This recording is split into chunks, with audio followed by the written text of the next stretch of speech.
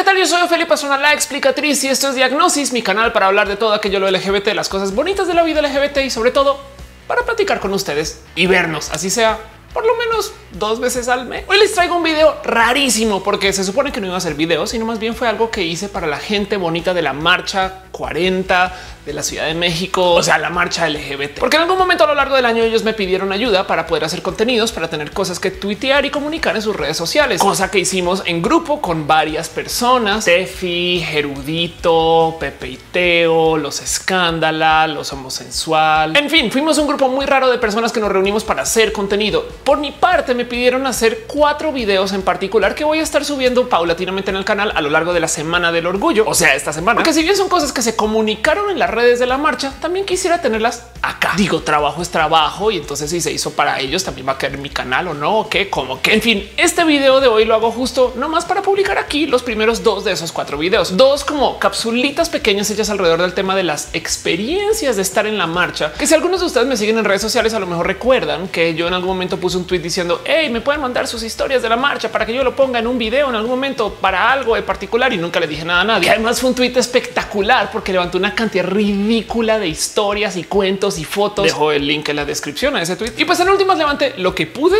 lo que sentí que iba a como brillar más en las redes sociales de la marcha y lo narré, lo narré para ustedes. En fin, para estos videos en particular, como solo los estoy subiendo acá con fines de no olvidar que esto es un trabajo bonito que hice para alguien más que también quiero guardar mis propias redes, no voy a hacer sesión de preguntas y respuestas al final del video. Eso lo voy a dejar para mis videos normales. O sea, ténganme paciencia, pero pues como sea, ahí les va. Les comparto las cosas bonitas que hago para la gente de la marcha número 40 en la Ciudad de México. Hola, soy Ofelia Pastrana, la explicatriz. El otro día decidí preguntarle a Twitter qué piensan acerca de la marcha LGBT por motivos y me dieron tantas y tan bonitas respuestas que decidí hacer este video para compilarles a ustedes las mejores fotos de las cosas que me enviaron en respuesta a ese tweet tomadas medio al azar. Arroba Sandy de México. Yo llevé a mi hijo dos veces para que aprendiera a respetar la igualdad de género. Mi mamá y mi cuñada venían nerviosas porque pensaban que era súper fuerte. Al final terminaron todas felices. Fue como el primer pasito para terminar de sanar ese tema con mi mamá. Arroba Mushkin 86. Fui el año pasado y me encantó. Fuimos apoyando a mi tío, toda la familia. Y me encantó que mi abuelita fue la sensación. Arroba Susana A04 Gmail 1. Fui a hacer fotos y después de tomarle una a un grupo BDSM, según yo pasaron de largo, pero en realidad se detuvieron y un güey me dio un par de latigazos en las nalgas. Fue extrañamente placentero. Arroba el cualquiera.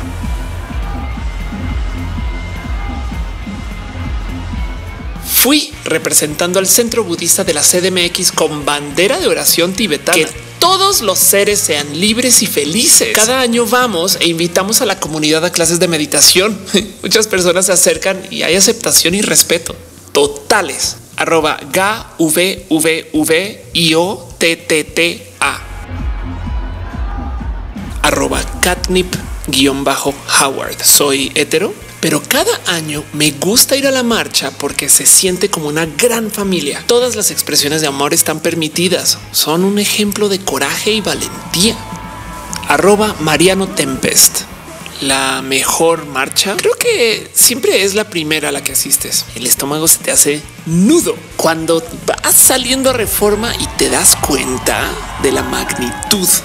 Creo es el momento cuando más orgulloso me sentí de ser gay.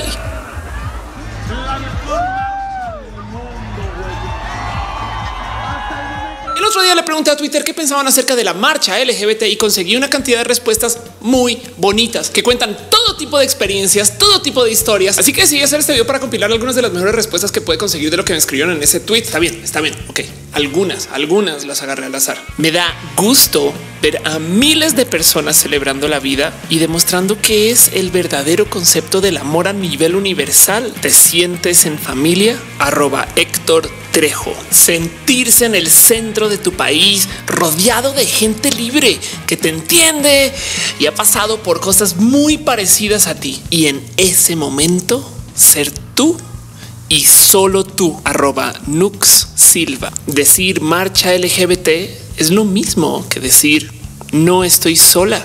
Arroba Ake rubio. Asistí a mi primera marcha hace cuatro años y puedo realmente decir que lloré. Allí pude ser quien soy en realidad. Podía cantar a Thalía o canciones de banda, podía bailar discretamente o también hacerlo como si nadie me viera. Podía gritar quién soy y no recibía miradas de rechazo ni palabras de desaliento. Arroba el Fénix caliente. Nunca había sido tan libre como lo fui ese día, tirando glitter y sintiéndonos hadas. A partir de ese día decidí educarme y volverme activista. Arroba do guion bajo el guion bajo corazón. En mi familia existe un tío súper mocho cristiano que opina lo peor de la comunidad LGBTI. Lo curioso es que fue en esa marcha donde vine a encontrarme con su hijo y con su novio. ¡Pam! Arroba René guion bajo Ferrer. Yo aún no salía del closet con conocidos, pero fui. Después de la marcha acompañé a Felicia Garza a su coronación. Cuando llegamos había una alfombra roja de mi lado y al bajarme del auto había cámaras de medios nacionales y extranjeros para mm, cubrir mi salida de closet. Arroba Riboflavina Chan. Solo puedo decir que fue la primera vez que sentí que era normal y que no sería juzgado. Arroba Bry Holland.